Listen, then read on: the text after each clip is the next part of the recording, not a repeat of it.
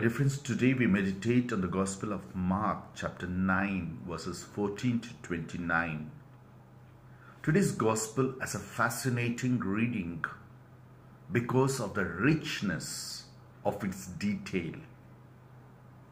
Just before this episode, Jesus was transfigured.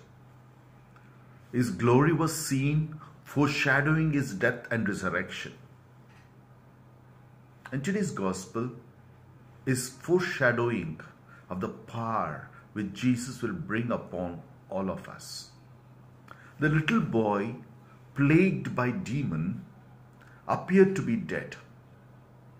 But Jesus takes him by the hand and helps him to his feet. Yes, my dear friends, we too are often plagued by sin, which is like a disease. Only Jesus, the divine physician, has a power to cure. It's a power to make us whole and healthy. We are already washed clean in baptism. We are strengthened with the nourishment of His body and blood in the Eucharist. One day in the future, unknown to us, each of us will be pronounced dead like the boy in the gospel. We will become like a corpse. Then Jesus will take us by the hand and help us to our feet.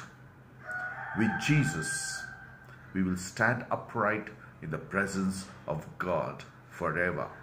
And this is Christianity, the faith that we live, cherish, and spread.